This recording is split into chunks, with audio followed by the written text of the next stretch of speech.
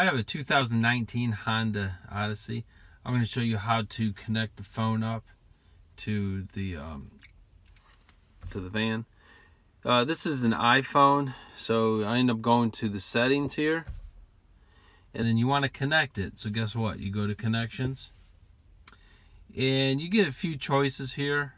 Um, I'm going to go with Bluetooth, and on here I don't have my phone hooked up. So I'm going to press connect a new device and it's detecting devices.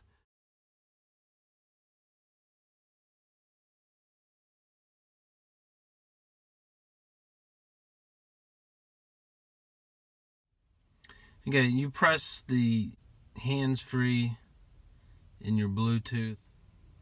And once your phone is connected, you'll see mine. It says Chris's iPhone. You'll have music available. I can do the phone. There's internet. So you click on here, and if I don't want to do audio, you can take that off. If you just want to do the phone, you can do that. Or um, if you just want to do audio and not have your calls and texts come through, you can do uh, just audio. You can do internet tethering. Um, so there's different things you can do. You can come down here. It gives you a little more options. So I'm going to make another video to show you how to turn the phone off like I just did here, but it'll be from the start.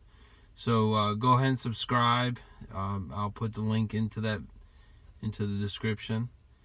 Um, but if you see something that was useful, um, go ahead and subscribe. I'm going to make some more videos and maybe you'll find another video useful.